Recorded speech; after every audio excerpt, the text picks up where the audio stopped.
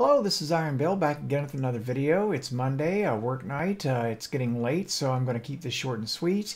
Uh, tonight's video is once again on the 1250 lost Sector for the day. This one's in the Cosmodrome, and uh, I don't know the exact area. doesn't really matter. I, I did it the first time, and basically you have to set up for arc build and, and arc damage because it's a lot of hive, and you also have a couple of uh, solar witches that you have to deal with, uh, unstoppable champions, anti-barrier champions, and that's pretty much it. it. This is a fairly simple one to do, but uh, the first time I ran through there, I had inadvertently switched up uh, some mods here, and I was trying to bring down a barrier knight, or at least stop it from regenning, and it wasn't working, and I thought, what in the world is going on? So I came in and changed the setup.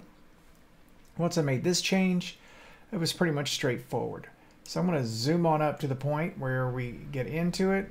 And it is Veles Labyrinth. And here are your modifiers right here.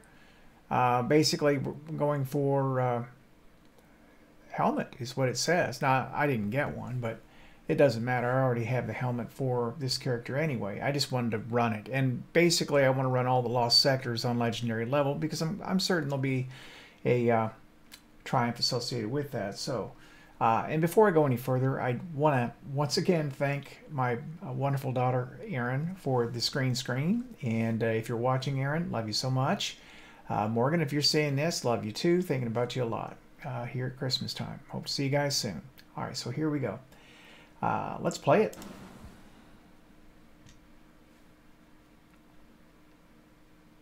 I'm working on getting my color right here. I'm uh, I'm struggling. Uh, there, there aren't a lot of settings for that uh, in OBS. Alright, and so I'm just kind of looking at my settings here again.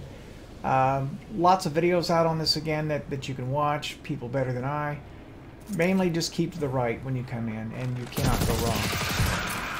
I use the Ikelos. Uh, I've seen loadouts where people use the Risk Runner, and the Risk Runner would be good, but I wanted to load up the Xenophage because uh, I felt like I needed to keep range on the boss because the boss, if, if you've done this one, you know the boss spawns in front of a portal.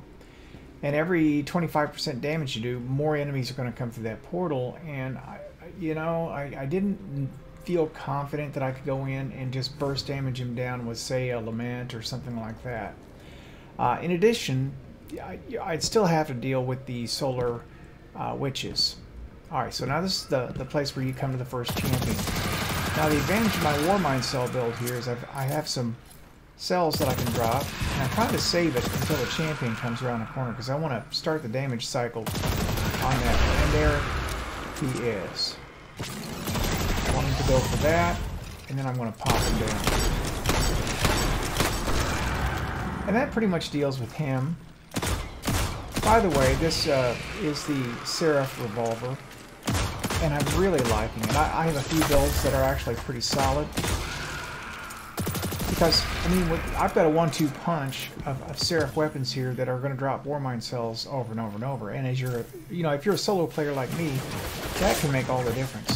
Now I kind of fumbled this. The one I have here doesn't have great range, and I should have just ran at these guys. Then I got hooked up on the terrain a little bit, started taking a lot of damage. I thought, I'm not dying here. See, I got hooked right there. And I'm just about dead. And it's time to get out. And you see all the arc flying at me.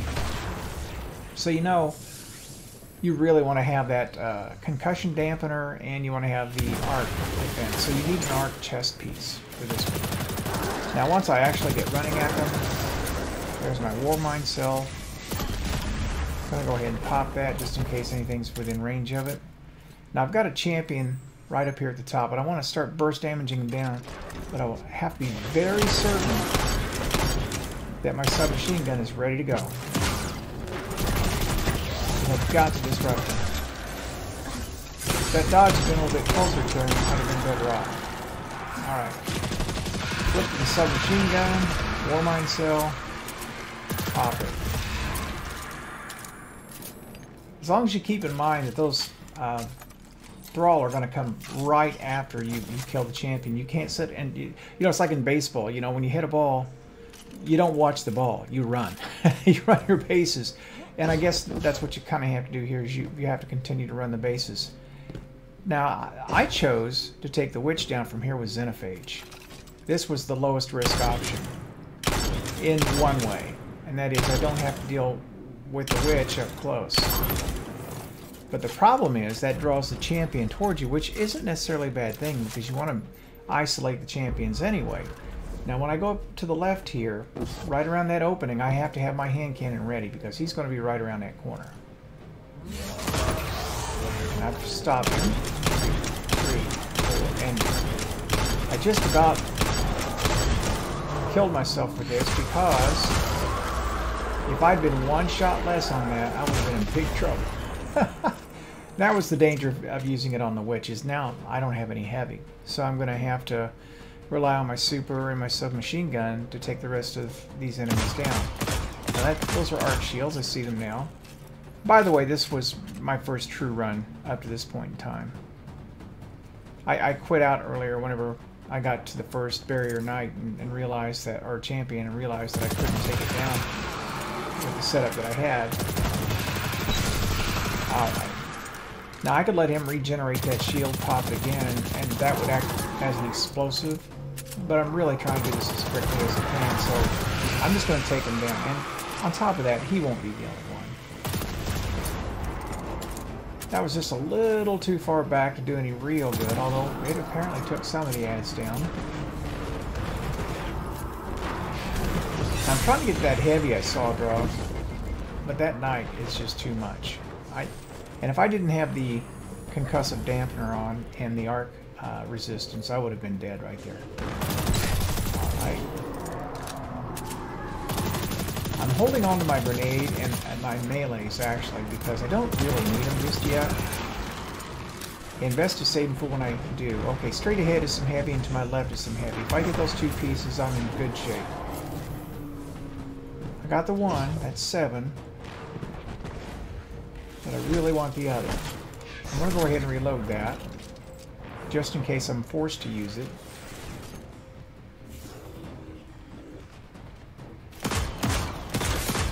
A longer range weapon here might be the better way to go, but to get unstoppable rounds, you have to have a hand There's just no getting around that. Okay, I'm going for my heavy. There's my Warmind cell. And that did a lot of good right there. Now I'm almost ready to start pounding out the boss, but then I see the witch. And I realize I have to deal with her. And there she is in the light. Two shots, finish her off. Don't want to waste my xenophage on him.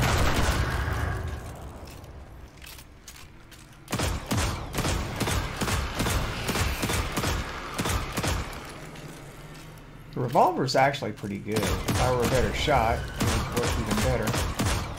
Fortunately, I'm going to have to shoot through all those enemies to get to the Warmind cell. The Warmind cell is going to hurt the boss, and you heard the gate open some more. Now, I'm in a position with enough damage on him that I could close and finish him off. So I'm going to put a grenade on him to suppress him. Now that grenade is going to do just enough to hold him. And that's it. That's all you have to do. And up and out I go. Pick it up. Unfortunately, I didn't get anything that uh, exotic, but you know, I already have the helmet anyway for on this character, so it didn't make much difference. Uh, I, I did that in. Let's uh,